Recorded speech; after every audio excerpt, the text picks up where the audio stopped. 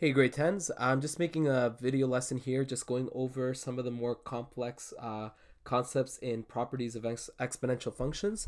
I'm going to focus mainly on the transformations of exponential functions. I think this is where it starts getting a little bit more difficult. Uh, so again, I apologize that I can't go through the whole lesson, uh, but just uh, I'm just going to try to focus on the tougher examples in the lesson. Before we get to the transformation of exponential functions, I want to focus on the general characteristics of exponential functions of the form y is equal to b to the x. The first thing I hope everyone notices is that uh, the base here will have to be greater than 0. If it's actually less than 0, that's a bit more complex. We're just going to focus on when the base is greater than 0. And we notice that in this case, in exponential functions, the variable is in the exponent, and this is why it's called an exponential function. So here's a summary of all the properties of exponential functions that are of this form. So we know that the domain is going to be XCR, so you'll be able to sub in anything into the function, you always have an answer. And we already know that we can have negative exponents as well. So I can have negative exponents, positive exponents, rational exponents, anything is possible in terms of what I can sub into my ex exponential function. Now the range is more limited, so we notice that the range is greater than zero. And I hope that this kind of makes sense. If we look at an example, let's say we have y is equal to 4 to the x. I can sub in positive exponents, negative exponents, fractional exponents, doesn't matter what I have. Uh, but what I always notice is that my answer will have to be greater than zero. I cannot have a power that is negative. Um, so in this case, whenever we have b to the power of x, we're always going to notice that the power itself will be greater than 0. We also notice that if the b value is greater than 1, then the function will be increasing. We can look at the same function here as an example. If we have uh, y is equal to 4 to the x, that means that we're multiplying by the outputs by 4 each time, which means that it is obviously increasing the whole time, which means it is a growth. And if b is between 0 and 1, so let's say we have something like y is equal to a half to the power of x, that means that the values are getting smaller and smaller each time because we are multiplying by half, which means that the values keep decreasing. So this is an example of something called decay. The y-intercept will always be 1 uh, when we have exponential functions in the form of y is equal to b to the x. And of course, uh, we notice that we have a horizontal asymptote at, on the x-axis, which means that the horizontal asymptote is y is equal to 0. And remember, horizontal asymptote is a point that we keep getting closer and closer to, but we never actually reach. So what happens if we start transforming this exponential function? Well, luckily, um, a lot of the transformations that we apply to uh, parabola, square roots, and absolute functions will be the same for exponential functions. The one big difference that we notice is that we do not have just one parent function, we actually have multiple parent functions. Um, so essentially what we notice is that if we start adding on the a, k, d, and c variables in the uh, in the exp exponential equation, we will start transforming our graph. And we transform the graph base function, which is b to the x. Luckily, the variables a, k, c, and d will transform our parent function in the same way that they did for parabola, square roots, and absolute functions. So as long as you remember how uh, the graph is changed by those variables, it works the exact same way here. This table here summarizes uh, the four variables and the effect that it has on the base function. So now let's look at an example. Suppose that we are given this uh, exponential equation and we want to find out what the transformation looks like. So the first thing I would do is I would compare it to a general transformation. So we have a b to the power of k and then in brackets x minus d plus c.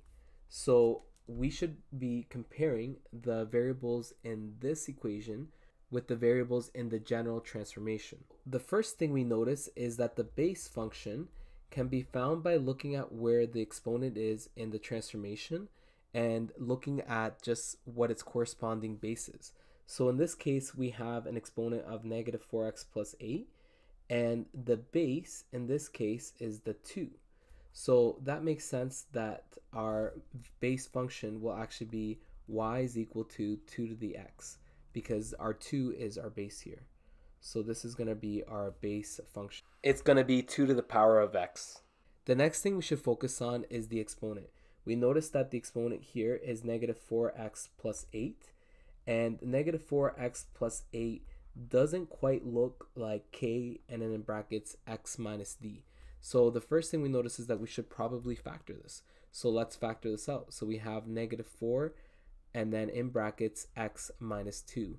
Now this exponent right here looks like it does in the original transformation. So to make this more clear, I'm going to rewrite f at x as 3 and then in brackets multiplied by 2 to the power of negative 4 x minus 2 and subtract 1. Now that we have rewritten the exponential function, I hope it is more clear what the a, k, d, and c variables are. So we first notice that our leading coefficient is 3. So that means that a is equal to 3. So this graph will be vertically stretched by a factor of 3. And next we notice that the k value is negative 4. So since k is equal to negative 4, that means that we reflect on the y-axis and the graph has been horizontally compressed by a factor of 1 over 4. So just remember that we have to take the reciprocal to find the factor there. Next, we look at our d value and we notice that our d value is 2. So d is equal to 2 which means that we have moved the graph uh, from 2 to the x in this position here, 2 units to the right. And finally, our c value is negative 1, which means that we are going to be moving our graph one unit down. So now that we have our four transformations listed out, we know that all these transformations will be applied to the graph of 2 to the x. So keep in mind that if the base here had been 4 to the x, then we would be applying the transformations to 4 to the x. If the base here was 6, then we would be applying all these transformations to 6 to the power of x. Now let's look at the y-intercept and horizontal asymptote. So to find the y-intercept of an exponential function, it's quite easy. All we're going to do is let x equal 0, and then we solve for uh, y or f at x. So that's pretty simple, just like we did before. Uh, to find the horizontal asymptote, this is the one that's a little bit more tricky. We have to really analyze what happens in general with exponential functions. So we already learned that b to the power of x will always be greater than 0 when b is greater than 0. And this is always going to be the case in exponential functions. So even if uh, I had a different k or d value, my value will always be positive and if we just consider this power here. Well, what happens if I multiply this power by a? Well, there's two options. If a itself is greater than 0, then that means that this whole entire value here will be greater than 0. But if a is less than 0, then the whole entire power here will be less than 0. So what we notice is that we only have two options this power is either completely above zero or completely below zero. So we already noticed something very important. The k and the d value didn't have any effect at all. So the only variable that uh, the only two variables that affected the most are the a and c value. And a doesn't really affect it as much. We're really just noticing whether it is above or below the horizontal asymptote. But your key here is to know what the c variable is because this will determine the horizontal asymptote. So we only really need to look at the C value to know what the horizontal asymptote is. So our conclusion here, the horizontal asymptote is y is equal to C. And knowing whether the A variable is positive or negative will simply tell us if it is above the horizontal asymptote or below the horizontal asymptote. Let's look at one last example here. So we're given this exponential function and we are asked to find the base function, the transformations, the y-intercept, and the horizontal asymptote, and then finally to sketch the graph. Uh, just for time's sake, I'm not going to do the very last one there. I'm just going to focus on a to d here. So first thing, the base function, we can easily find that by looking for uh, the power itself and what the base is. So we notice that this is going to be our power, and the base in this case is 4. So because 4 is the base, that means that our base function is y is equal to uh, 4 to the x. So this is going to be the function that we are going to transform. Our next step is to identify what the transformations are. So to identify the transformations, we first need to make sure that it is written in the correct form. That means that the exponent needs to be factored out properly. So we have y is equal to 0.5 multiplied by 4 to the 0.5 uh, and then in brackets x minus 2, sorry, x plus 2 and close the brackets and then we add the 3 at the end there. Now we can more easily identify what the a, k, d, and c variables are and then of course what the transformations are. So we notice first that our a value is 0.5 uh, and keep in mind that this means that we are uh, vertically compressing by a factor of 0.5.